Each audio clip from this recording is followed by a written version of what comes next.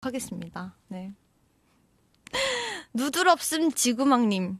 면스트 민니 나오는 민니가 나오는 내일 지구가 망해버렸으면 좋겠어 봤어요? 봤어요. 거기 나오는 민니 명대사 재현해 주세요. 얼마 전에 우기가 대사 따라하는 거 진짜 잘하고 웃겼는데 우기가 대사 따라했었어요? 면스트가 하면 더 잘할 것 같다요.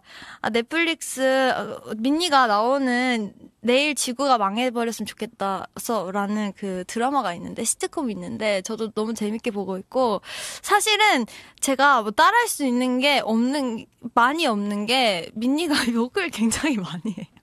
굉장히 음 뜨겁더라고요. 그래가지고 제가 제일 기억에 남는 거, 기억에 남는 게 좀 많은데, 하나는 뭐 있냐, 되게 많이 하더라고요. 대사는 뭐냐면, 헐, 실화임? 이건데, 그 시를 되게 길게 하더라고요, 항상. 그래서 너무 귀여운 거예요, 저는. 그거 보고, 헐, 헐, 실화임? 실화임? 헐, 실화임? 후라이까지 말라! 이거를 제가 기억에 나. 아무튼 다른 거는요, 너무 이게 좀, 그, 세요.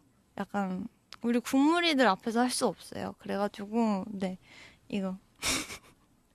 아니, 진짜 민니가 엄청 걱정 많이 했었고, 첫 작품이고, 그래가지고 걱정 많이 했었고, 그리고 굉장히 그때 저희, 어, 그, 활동이랑 겹쳐서 엄청 힘들 때였어요, 그때.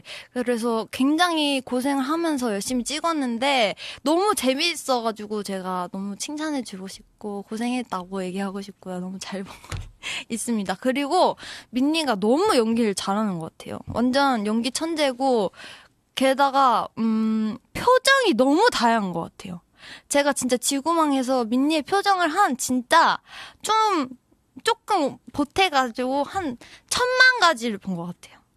진짜로 너무 표정이 다양해서 너무 재밌게 보고 있습니다. 블라주러님이 면스트가 부르는 나라